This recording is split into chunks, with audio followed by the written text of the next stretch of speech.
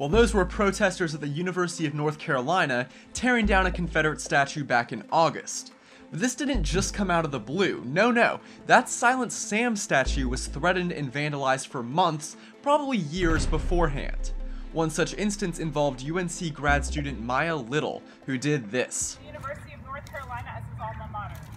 I dare to affirm this day that if every state of the South had done what North Carolina did without a murmur, Maya- always Maya, what- Now that substance she was smearing on the statue was apparently a mixture of red paint and her own blood. That's how calm and rational these people are, fam. Anyways, a UNC student court sanctioned Maya with a written warning and 18 hours of community service. But for someone who's apparently a compassionate social justice activist, Maya is oddly reluctant to do community service.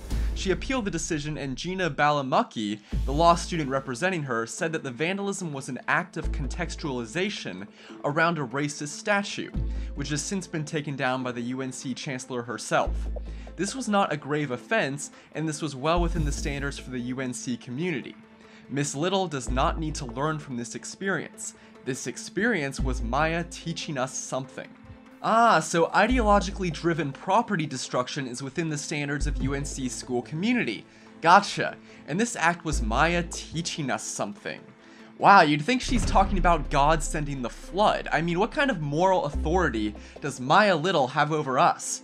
And let's drop the notion that she's some kind of innocent angel. Maya took part in another protest in December and got charged with starting a riot and assaulting a police officer. But what makes the UNC statue story especially insane is that this wasn't just a few dozen intolerant students. No, no, back last February, over a dozen unnamed UNC professors wrote the Chancellor a letter threatening to tear down the monument themselves. How brave, I guess that's why they decided to stay anonymous. And then just last month, the Chancellor removed the statue's base before resigning. When it comes to UNC, cultural Marxism is a team sport.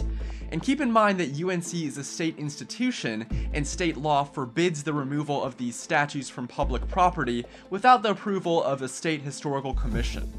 Since when did the faction of inebriated hippies become the faction of lawless savages? For Campus Unmasked, I'm Rob Shimshock. If you like this video and support our mission, please make sure to comment and subscribe. If something happens on your campus and you'd like us to investigate, send us details using the form on campusunmasked.com.